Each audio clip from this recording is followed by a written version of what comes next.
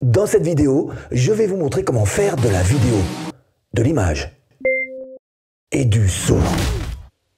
Et tout ça avec un site internet qui va faire grimper d'un niveau vos publications.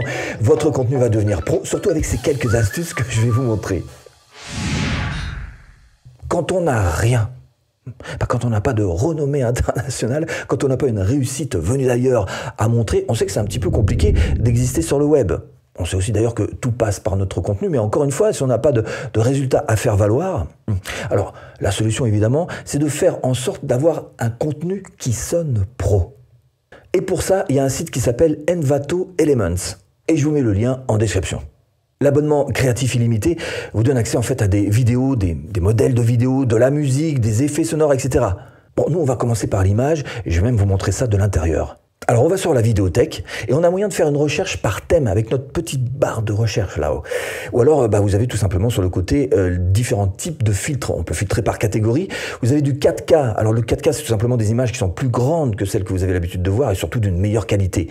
Vous avez le nombre d'images par seconde. Alors YouTube on est plus sur du 30 images par seconde ce qui correspond à du NTSC. Mais vous avez moyen de passer par du 25 images par seconde. Hein, euh, là on est plus dans le PAL. Ou alors carrément du 24 images par seconde où là c'est plus du cinéma. Mais bref en général, c'est plutôt du 30 par seconde. Alors, je vous montre pas tout, mais aussi chaîne alpha, euh, qui euh, mauvaise traduction en fait en français de, ce qu'on appelle une, une couche alpha. Ça, c'est le fait d'avoir tout simplement un objet qui est posé sur une couche alpha qui va faire que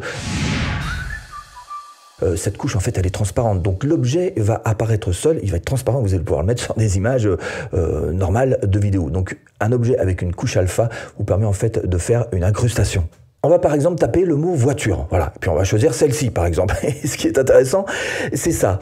Ici, dans vidéo similaire, vous avez donc des suggestions similaires. Alors vous n'êtes pas obligé de choisir parmi ces différentes propositions. Ce que vous pouvez faire, c'est carrément cumuler ces différentes propositions.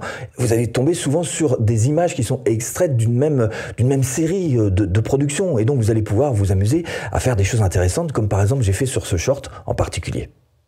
Le plus dur, c'est cette dernière étape, celle de la validation avant diffusion. Et ce jour-là, je suis face à un comité de 5 personnes et le combat d'ego commence. C'est à celui qui trouvera le défaut le plus pertinent, qui fera la remarque, qui le mettra le plus en valeur devant son patron. C'est un enfer. 5 personnes, 5 défauts, 5 corrections à faire. Là, j'ai utilisé trois plans du même producteur, de la même production. Et monter ensemble, tout de suite, ça fait un genre de petite scène euh, de film. Hein. Et là, vous faites monter, euh, d'un cran votre niveau de production. Autre utilisation. On n'est pas obligé d'être un grand graphiste hein, pour faire de bonnes images. De l'image, il y en a partout. Mais le B à bas quand même, surtout si vous êtes un grand débutant, hein, que vous partez vraiment de 0-0, euh, la moindre des choses, c'est d'avoir une bonne base de départ. Bon, après de l'image, il y en a absolument partout, on est d'accord, mais pas uniquement dans vos publications, pas uniquement non plus dans vos vidéos. Quelquefois, il y a des endroits, on pense moins, mais c'est euh, tout aussi important, si ce n'est plus. Par exemple, sur vos vignettes euh, YouTube. Eh ben, une vignette YouTube avec une bonne image, ça peut tout changer, ça peut booster votre taux de clic, donc booster votre vidéo. Je te montre. Dans la petite barre de recherche là en haut, on va se mettre sur photo. Et là, on va taper yoga. Et vous voyez que si vous cherchez à faire une vignette YouTube, bah là vous avez du choix, hein, et un véritable choix de, fonds pro euh, sur lesquels vous allez pouvoir ajouter juste après donc du texte. Alors petite astuce, même si ça vous semble un petit peu moins intuitif, vous pouvez utiliser des images fixes dans vos vidéos. Simplement, il faudra leur donner un petit peu de vie. Alors souvent, ceux qui font ça, boum, ils plaquent l'image et puis on n'en parle plus. Non, non, essayez de mettre sur cette image un zoom. Voilà, bah plutôt que la laisser fixe, vous mettez un zoom grossissant, très lent, comme celui que vous êtes en train de voir actuellement. Et ça, bah, ça donnera tout de suite un petit peu de vie à votre image, donc euh, bah, à votre montage. Eh, euh, voilà. Après avoir cliqué sur le lien que j'ai mis en, en description, hein, il faut descendre tout en bas de la page et vous allez voir qu'il y a une inscription gratuite.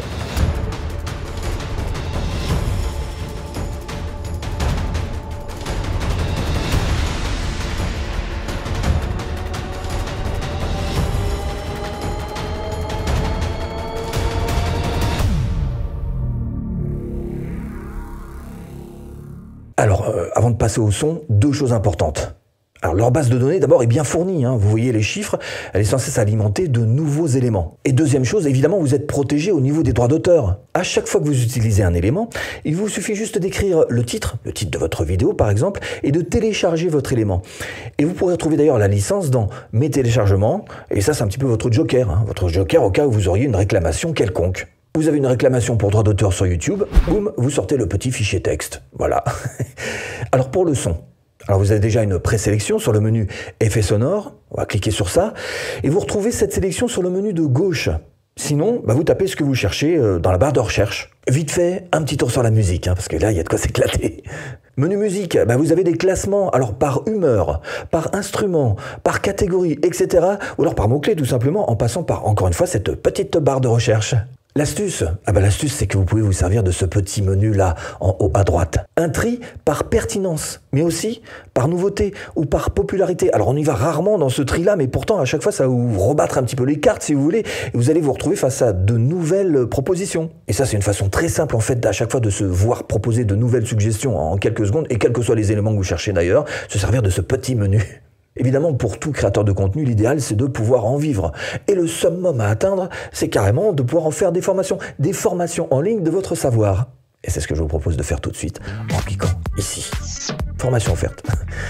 À tout de suite, si tu cliques.